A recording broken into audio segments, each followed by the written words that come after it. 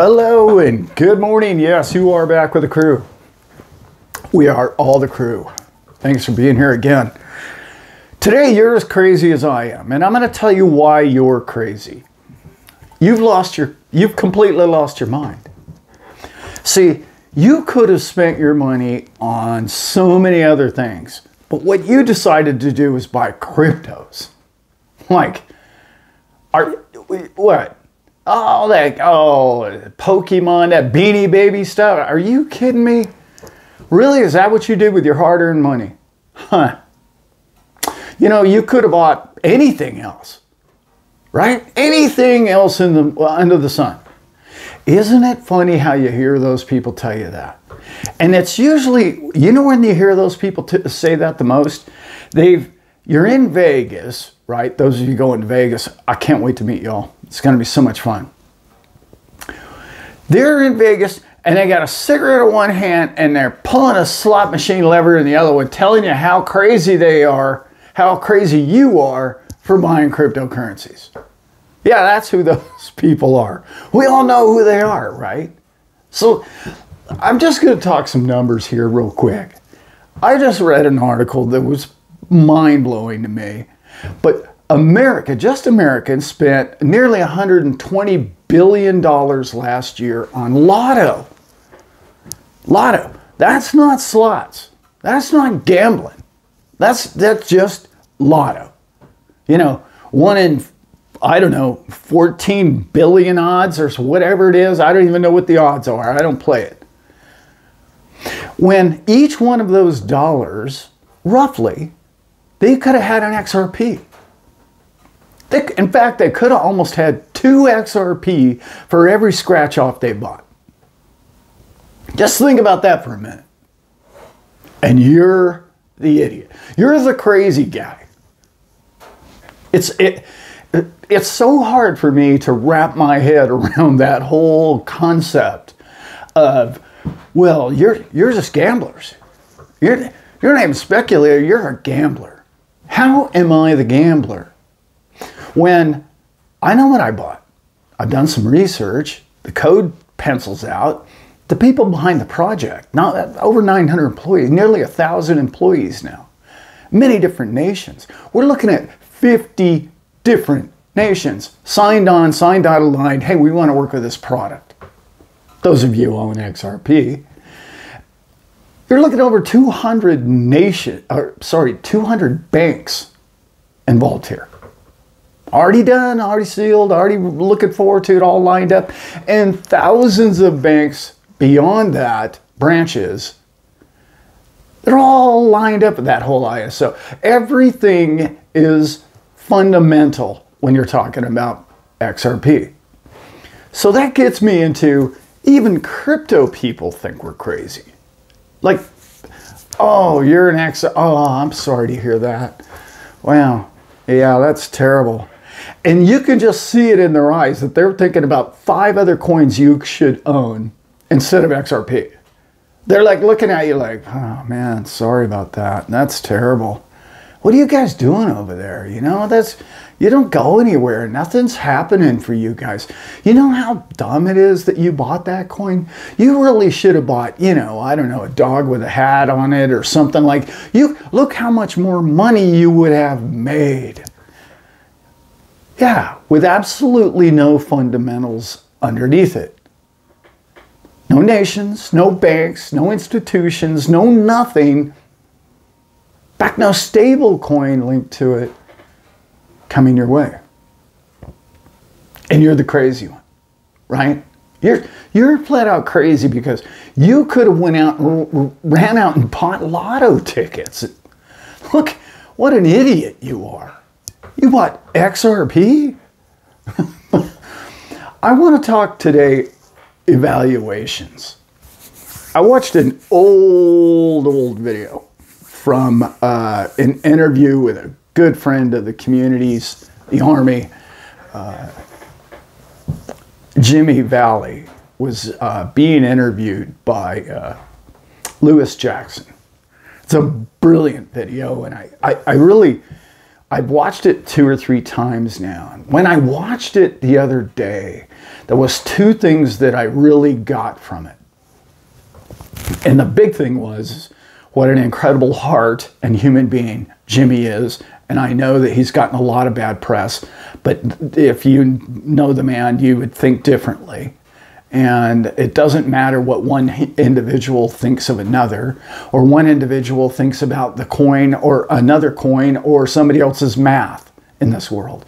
It matters what you believe and what you own and the math that you've done in your soul. Okay? That's all that matters. But the two things I got from that video, watching it again, was number one, the conviction behind these people. People that own XRP have conviction. People that own XRP are not just lotto players. There are people who have done the research, have listened to the shows daily, they've done their homework, they know the principles behind this, they know the institution, they know what they own. And they can't, you can't share in a conversation with another crypto person in 60 seconds or less because people won't listen to anybody talk for any longer than that these days it seems unless you're talking about something they want to hear about. You can't get the years or months if you're new of information that is so dense in the XRP army that is so constant and it's not mainstream news. It's not. It's not mainstream news even in, in uh, crypto. It's that you have to seek it out, search it, find it.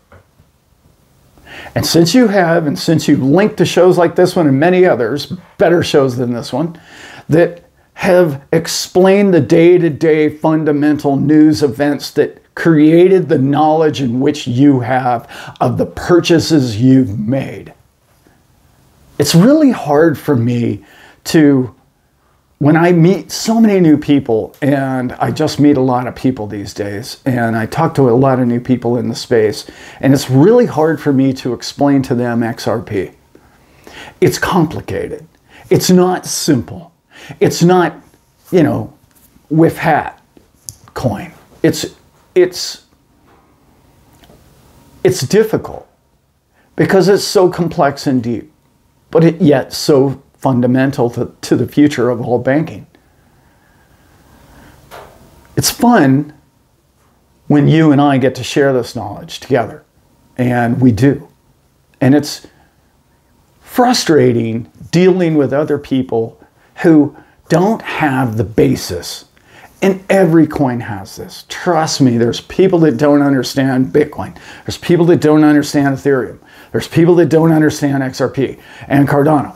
I get that. But there's something very unique about the XRP people that people don't get it. People look, people might even own XRP. Okay, Raoul Paul comes to mind, who doesn't even get XRP. He doesn't. He hasn't done the homework. There's a lot of people in XRP that haven't done the homework on Bitcoin either, but it seems an in-proportionate amount of people who might even own, like I just said about Raoul, might even own a ton of XRP and they don't follow the fundamentals of it. And it's so unique to me and it's so interesting because it's gone through this court case and this court case was a big victory. Let's remember, they can make that whole thing go away by writing a check. I know in America we still write checks. I know it's like, is that the stupidest thing on the planet? But Ripple could write the check tomorrow and it financially wouldn't even damage them. I did a video two years ago talking about if they pay the billion dollar fine, who cares? So now it's two billion. They'll probably negotiate it down to a billion or less, and they'll write the check and go on their way. And those of you right now with getting your cackle all up, trying to think, well, we should never submit to that, and we, we'd never admit our guilt or any of those things. It's, it's not about that. It's about moving the ball down the road. It's about opening all those doors, all those NDAs that they've been signing over these years, and all those people that are on the edge of understanding the technology, knowing how it works with their corporations, their banking systems, and their networks. Yet there's that little boogeyman in the room that is this suit, and they need it to go away before they say, We'll put our name on that. We're willing to admit that we own that. We like that. It's big. And that day is very, very soon. Very soon. And when that day comes, I'm not going to make any more predictions because I predicted when we had a positive result with Miss Torres that we would see new all time highs. Yeah, I was uh, miserably wrong on that one. I, uh, yeah, well, you know, my predictions aren't great, but, you know, I'm not really a predictor guy. I'm a fundamentals guy. I'm a guy that sees value. I seek value. I seek value in stocks, in ideas, in concepts my whole life long. My whole life long. My idea of sitting down with a billionaire is asking him, How and when did you know what you owned was going to become reality? And what we know that now today as the network effect. We know that. How do we know that? We know that because of Facebook.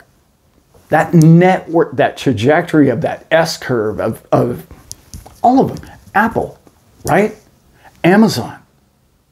All of these, by the way, little tidbit. What do we know about all those companies, those big companies? They were all sued by the SEC. Now, isn't that familiar? Huh? It's almost like a stamp and a seal of approval for us. It's amazing. It's, it's amazing to me. And it's, it's almost like they wanted to get in on it. You know, like I talk about with the Reggie Middleton, they own, I don't know, 90 some odd million of, of his uh, Veritaseum coins. It's like they want to get their foot in the door so that the system can control Facebook and Amazon from that day forward. They may or may not have done that. That's up to you to make your own decisions on those. Uh, clearly, they have more influence than they did prior to the lawsuit, so Hmm. So maybe they shouldn't write the check. I don't know. It's really up to you, and you could put that down below and tell me should they write the check, make it all go away? Let's move on with our lives? Or should we just play this game for another six months? Who knows, right? Could be two years. Do we really need the boogeyman in the room? Or should we just make it all go away? On a little brighter note, I'd like to say that there are so many people who reach out to this channel, and uh, your emails are amazing, and thank you very much. And all of you who are going to be in Vegas, please meet up with me. Please find a way to come up and introduce yourself and tell me who you are and where you come from and what your life is, because I really care. And I'm not just one other guy on the YouTube, I'm a guy that's in this with you. You and I are going to do well together. That's my plan for both of us. So hopefully that makes sense that you would like to, well, let's, let me, let me set the foundation of a communication with this person so that when we're both doing well, we can plan trips together. we could go hang out and do Vegas more often, maybe. Instead of once a year, we could do hangouts or do something fun. That's really what I'd like to see. I love people and I love the interaction with those of you who have seen or met me in person and my son in person, the, you, the first thing that comes to you is like, well, there's normal guys. Oh, I'm just a normal guy. That's who we are. That's who we all are. That's who Brad Garlinghouse is. Just normal guy. Okay. So let's just remember that about everybody. And we're all just sharing information. We're all on the same team. We got many different teams. I have many different coins, guys. I don't just own, but I will tell you my big bag. It's a big bag. I don't have a giant bag because I'm not a really wealthy man, but I do have me some XRP. That is not financial advice, and you may or may not see it differently, and that's okay. Keep watching the channel because it's not the only coin I talk about. But I do talk about the big picture of where we're going in this space. And where we're going is we've already gotten there. We've already gotten to where the rest of the world is getting to.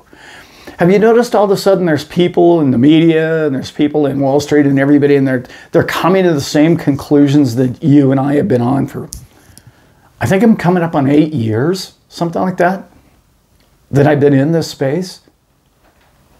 And they're all coming to the same conclusions you and I had years ago. Years and years ago.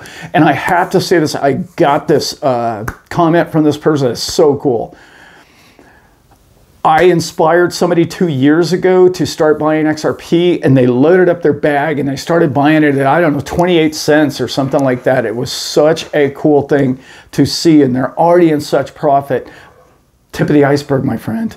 Where you're headed, you, you've been DCAing your way in these last two years. Whew, you're sitting pretty. If you're only just buying a coin right now, no problem. You're good to go. Like I say, you can almost get two of them for a buck. Okay? Much better invest. This is financial advice. It's a better investment than a lotto ticket. Okay? That's my opinion. That's not even financial advice. That's my opinion. That's been my lifelong knowledge of life. And that, mainly that's what I try and share with you guys.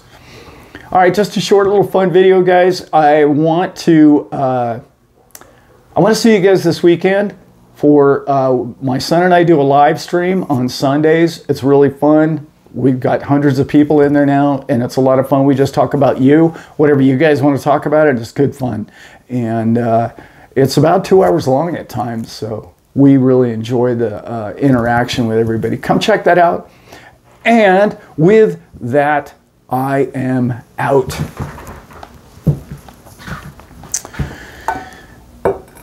So yeah, did you know that if you stick your tongue out, you can't breathe through your nose? Yeah, I know. I did the same thing. See, now you're in a room, hopefully by yourself, maybe not, and your tongue is hanging out. Yeah, just like I did. And now that your tongue's out, maybe you're not alone. I mean, your spouse or your significant other is looking at you, looking at your phone. And not only are you looking at a phone with your tongue hanging out, you're not even looking at a human being on the phone. And that's when you say to yourself, wow, huh, isn't life fun? Isn't, isn't that just fun? That, I, I love that about us. We're so damn real. Love real people. And if you can't laugh at yourself, well, you might just want to loosen the wrappings a little bit because you might be a little too tight. Love you guys. See you soon.